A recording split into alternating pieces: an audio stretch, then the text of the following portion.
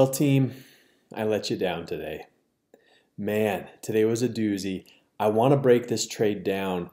There's a lot to learn from this one. Um, I broke my trading plan, and I want to tell you exactly why I did. And I know this is probably very disappointing to some of you because I'm always saying stick with your trade plan. But here's what happened. Here's what I want to, here's the takeaway. My trading strategy and trading plan entered a new area for me. It's an area I've never gone before. I've never been there during a trade. So I didn't have a rule in place. And now I'm going to have a rule that's going to help me if I ever get back to this same scenario again. So what happened today was I took a loser to the upside. If you look at AMD, you can see this big tail to the top, this big wick. I triggered there and rode this up about four or five hundred dollars of profit, and then it evaporated in seconds and triggered and stopped me out. And that's okay. We lose all the time. Then it drifted down and it triggered me into the short side. And I'm going to show you that video here. I've spread I've sped it up about four by four times to make it quicker for you. But what happened was I ended up being in this trade a very long time, way, way longer than any of my other trades. This is trade number 108 and trade 109 that you're watching today. And being that I was in the trade so long, the trade wouldn't allow me to move my stop loss. It wouldn't drop enough. And so after almost a half an hour of sort of just agony of watching my profits erode, I took it. I took the profit. I left. I jumped out of the trade, and I want to show you why. Um, it's just, it was just a tough scenario because you have rules in place for your trading plan. What to do when you get to certain spots. You don't want to be making decisions in the moment. And I made a decision today in the moment. I'm going to hit play right here. Let's show you this trade. So you can see it's drifting down and it's just kind of hanging around and I'm not sure I'm even going to get triggered. I, I didn't know. And then we got triggered in, and you can see right here we're up a little bit, but it wasn't great. Um, I register there. You can see I'm uh, editing my stop loss so that I can be ready to move it. And I'm going to stop this for a second because, as you guys know, when I get triggered in, I wait for the I wait for the stock to go to two and a half R, and then once it gets there, I move my stop loss to two R so that I can lock in those profits. But what happened today was it never got to two and a half R and it took forever. And so I wasn't moving that stop loss because I couldn't get to that point. So I waited and I waited and I waited. And look how close I come to almost getting stopped. It almost took me out there.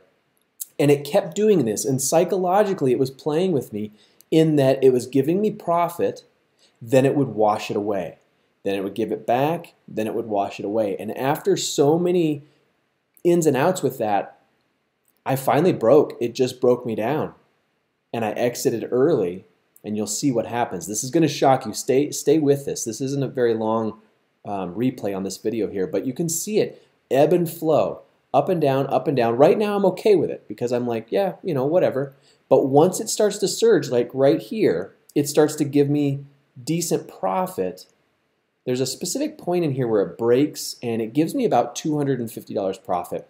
And remember, two and a half R for me is 750. So I'm waiting for $750 to come in.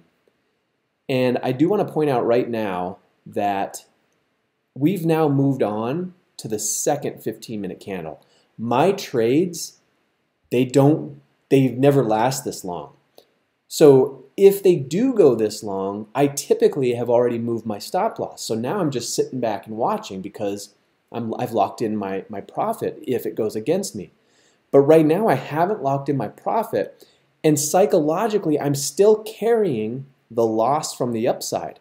So in my head I'm thinking this could be a double loss day, which happens. But I don't want it to happen obviously. So I feel like I'm quick on the trigger. My hand's on the trigger. I'm just waiting to see what's going to happen.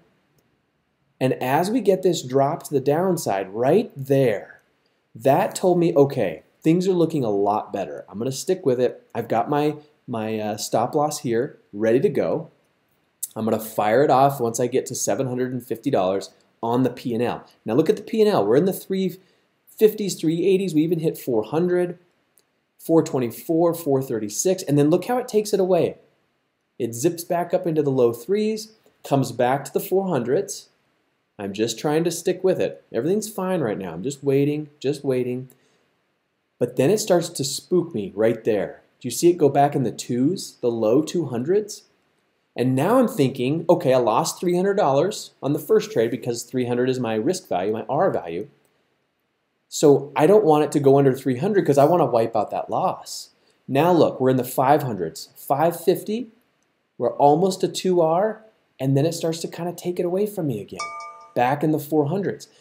So I'm just struggling psychologically in this trade because it's almost to the point where I can move my stop, but not quite. So I'm just waiting and waiting and waiting, and it's still not giving it to me. So I'm just trying to stay consistent here. It's dropping down. So now we're in the sixes, which is looking really good, but look at that right there. I'm just going to back this up just a little bit. It came all the way back to 313. And in my head, I just kept thinking, I lost 300. I need to try to make at least 300. But that's the wrong process for the trade. I need to be committed to either a full loss or a full win. When you play in that gray area, that in between, you end up taking smaller winners and you end up taking full losers. So overall, you're going to end away, you're going to end up cutting away at your margins. So I'll keep playing this. We're almost done with it. It pushes back down. You can see now we're in the 460s, 430s, but it keeps pressing back up. It bounces and it keeps acting like it's going to take those profits away. We go to 500, we go back into the 300s. We go to the 450s, we go back to the 300s. So at this point, I'm just not convinced that it's going to go anywhere. And right there, you can see what I did. I punched out I took a gain of $477.55 and punched out. And now what I want to do, and this is the part that's, that's tough to show you guys because I broke my plan, and I'm always preaching to stick with your plan, but here's what happened. I'm going to flip over to the charts. Look what AMD did. Look at this candle.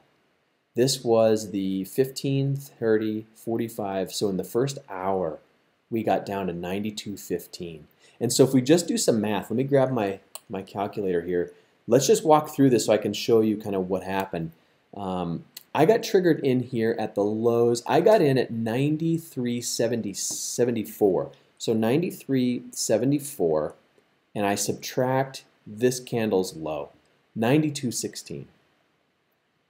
So that gives us a $1.58. And then what you can do is take this $1.58 and you can divide it by your stop loss, which for me was 25 cents. So right there, 6.32R is what that would have produced. Obviously, that's the bottom of this candle. You can't bottom tick anything. That's really hard to do. But if I multiply that by my R value, which is 300, that means that I made $180 today instead of 1900 so you can see why I'm struggling with that. That's a that's a tough thing to it's tough to deal with. It it happens. And I think the takeaway here is because as day traders, the one thing that I want to tell you all is that you have to have a short memory. You're going to have big wins, you're going to have little losers, you're going to have clusters of losers. You'll be frustrated. But you can't get too celebratory and hung up on any one winner, and you can't get hung up on any cluster of losers. You have to stick with your metrics. Your back tested win percentage is what's going to help you get through these times like this. And for me, I win 54% of the time now. I have to just say, I'm okay with that. I missed this one. I got to move on. Because if you get hung up on it, I think psychologically, it'll create a thread into your next trade and it's going to affect you. So after this recap video, I'm going to wipe it clean. Slate's clean. I'm done. This is out of my memory. I've moved on. I still made money today. The week is still doing great. We're up 3R on the week. I have to be okay with that. But I think we have to have that takeaway. What can we learn from this? And the learning part of this is I encountered a new situation. So what I need to do is create a rule that addresses this situation. Here's my challenge to all of you today. I want you to get a piece of paper out I want you to write down your trade strategy and management plan. I want you to write every step of it like an algorithm. So you get triggered in when what happens. Then when that happens, what do you wait for in terms of, a, of your stop loss? When do you move it? When do you not move it? Have all those rules written down because I think if you write them down and put them on the wall next to your trading station, you're going to see them and you're going to know, okay, it's just rogue memory. I know that if I get to 2R, I take all my profit. Maybe that's your rule. Or I wait to go to 3R and then I move my stop loss to 2R. Whatever your plan is, lay it out on paper today, right now. Because you don't want to get into a situation like I just got into and not know what the answer is. If I would have stuck with this trade, this would have been a week's pay. This would have been a week, well, or a few days pay. This is a massive, this is just a, a big missed opportunity. And it's okay because we're going to learn from it. And I hope that what I'm sharing helps you. You might say, Why are you complaining? I'm not complaining. You might say, Why are you concerned? You still won. You still had a victory. You still came ahead green. I did. But you got to remember, your winners have to be, they have to outpace your losers. So today, my win was $180. If I take one loser tomorrow, that erases that winner and puts me down some. Your winners have to be bigger than your losers. If you start to skew your results and get away from that, that's a slippery slope and your trading profits are going to massively suffer. So, takeaways. Write down your trading plan. I'm going to do it too. I'll even I'll even take a picture of it if you guys want. I'm going to write it down on a piece of paper. I'm going to have it set. I'm going to review every scenario. I want you to do that too, and I want you to comment below and let me know when you've finished it up. And then what I want to do is I want to take away that this is a new rule that will go into the plan so that tomorrow I know I'm either taking the full loser or the full winner. I can't allow there to be in between. Okay, I do have specific rules surrounding larger moves and trades, and that's for another video. But for right now, I'm committing to all of you and to myself that I'm either taking the full loser, the full 1R loser, or the full 2.5 winner or beyond. There's not going to be any, or my stop loss when I move it to 2 and 2.25. So I'll say it's either a 2 winner or great, a 2R winner or greater, or I take the full 1R stop loss, but I cannot take these partial winners. And psychologically, when I take that loser on the upside, when I lost here this morning, I lost up here first. When that happens, I have to have a very short term memory and let that go. This is a new trade. If I get triggered in the short side, because you guys know I put a trade on the top and a trade on the bottom of this last 15 minute candle. If I get triggered into the second trade and I'm coming into it with a loser, I have to forget about it and move on. It's a new trade. The first trade doesn't affect the second trade. We got to psychologically partition these things off because on the other side of these good mechanics is steady progress on your P&L, okay? So if you have questions about this trade today, please put them below in the comments. I want to hear from you guys. Again, I apologize for breaking my plan. I'm implementing new rules to address this, and that's all we can do as traders. If you happen to break your, your plan or something happens that's unexpected, formulate a new plan to address it. If you've done that, you can stay proud of yourself for the day. You can say, I'm proud of my trading because I'm addressing the problem. It's when you don't address it and you let it go on and on. That becomes the problem. So, a little bit of a sobering video today. Um, great because I'm green. I'm thankful. It's, it's fine. I'm moving on.